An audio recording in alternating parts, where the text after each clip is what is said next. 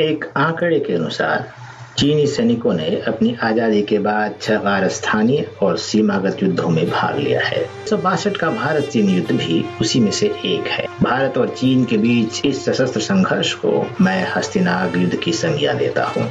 सीमा रक्षक बलों के बीच का यह विवाद किस तरह एक युद्ध में परिणत हुआ, यह अपने आप में द्रष्टव्य है। वानोंग हिमालय की दक्षिणी गोद में स्थित एक सुंदर ग्राम है।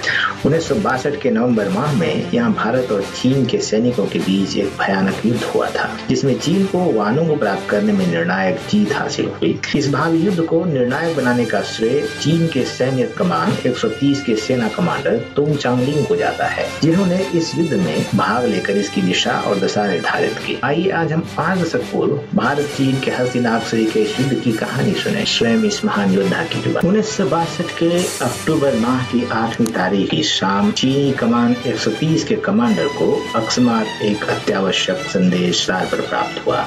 हालाँकि तार सैनिक संदेश के रूप में अग्रेषित किया गया था, पर यह केंद्र सरकार द्वारा प्रेषित नहीं था। वह संदेश स्थानीय ब्रिगेड शंतु सैन्य क्षेत्र कमान और जनरल स्टाफ के कार्यालय से भेजा गया था, जिसमें सैनिक बलों को एकत्रित होने और किसी संभावित युद्ध के लिए तैयार रहने का आदेश दिया गया था। पर संदेश में शत्रु और युद्ध के कार्यवाही के स्थान का कोई ज़िक्र नहीं था।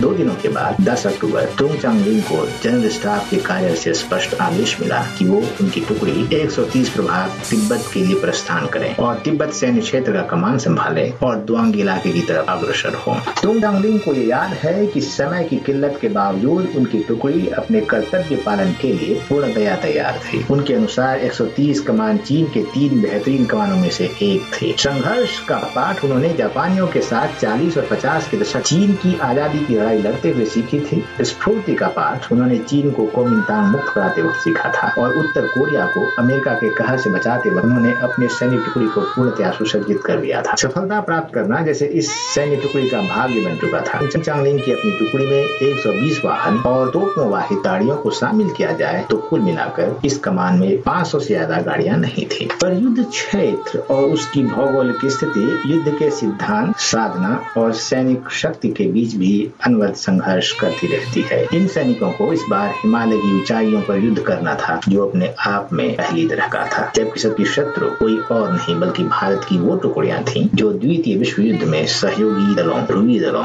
दोनों तरफ़ से भाग ले चुकी थी। बटालियन 130 भी वास्तव में कम नहीं थे। यह चीन की सर्वश्रेष्ठ फौजों में से एक थी। इन्होंने इस भयानक युद्ध के लिए अपने आप को सतहंत तैयार कर लिया। तुम चांगलिंग अपने टीम और अन्य संबद्ध सैन्य टुकड़ी के प्रमुखों का नेतृत्व करते हुए शत्रु के सामरिक और उनकी संचार शक्ति का ट्रोह लेने चल पड़े। चामो ये जगह तिब्बत के दक्षिण में है। उनतीस अक्टूबर उन्नीस सौ बासठ संध्या तक तुम चांगलिंग की टीम चामो पहुँच चुकी थी। इस जगह एक भयानक युद्ध हिंदी और चीनी सैनिकों के बीच हुआ था जिसमें हिंदी फौज भाग खड़ी हुई। बाद यहाँ चामो हॉस्पिटल का निर्माण किया गया, जो तिब्बत वासियों के लिए आज भी वैवाहिक है। युद्ध में नैतिक विजय बड़ी मायने रखती है। खुफिया जानकारी के मुताबिक हिंदी फौज ने तिब्बती ग्रामीणों पर कहर बरसाना शुरू कर दिया। इसमें से कुछ की मौत घटना स्थल पर ही हो गई। वास्तव में भारतीय सैनिकों का ग्रामीणों पर अतिशय बल प्रयोग, उसके नीति में भारतीय का ग्रामीणों पर अतिशय बल प्रयोग, उनके नीतिगत हार का प्रारब्ध लिख चुका था।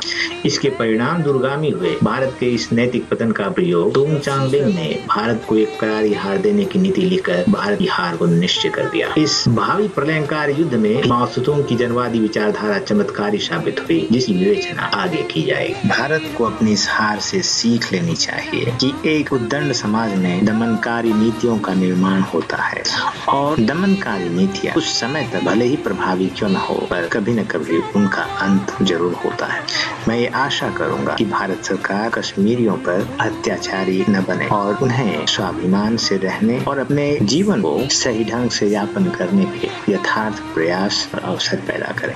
मैं समाज से विनती करता हूँ कि भारत सरकार की कठोर नीतियों का विरोध तो ज़रूर करें, पर अपनी अहिंसात्मक नीतियों को भी न छोड़ें। हम मानव हैं और मानववादी होने के नाते हमें हरेक के सुख और दुख के साथ जीना और मरना पड़ेगा। मुल्ले को मारकर, पंडित को बचाना, पंडित को मारकर, शूद्रों को बचाना, इस तरह की परंपरागत परंपरागत नीतियों से बाहर उठकर एक सभ्यता और विशेष रूप से सभ्य समाज की स्थापना करने वाले उन नीतियों का निर्माण कर जिससे भारत फिर से गौरवान्वित हो।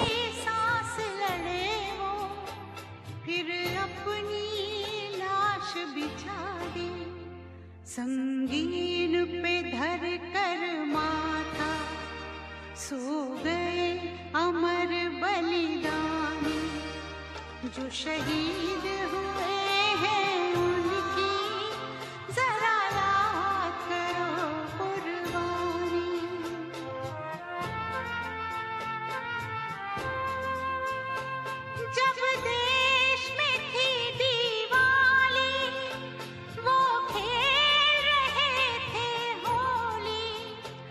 जब हम बैठे थे घरों में, जब हम बैठे थे घरों में, वो झेल रहे थे गोली। थे धन्य जवान वो अपने, थी धन्य वो उनकी जवानी। जो शहीद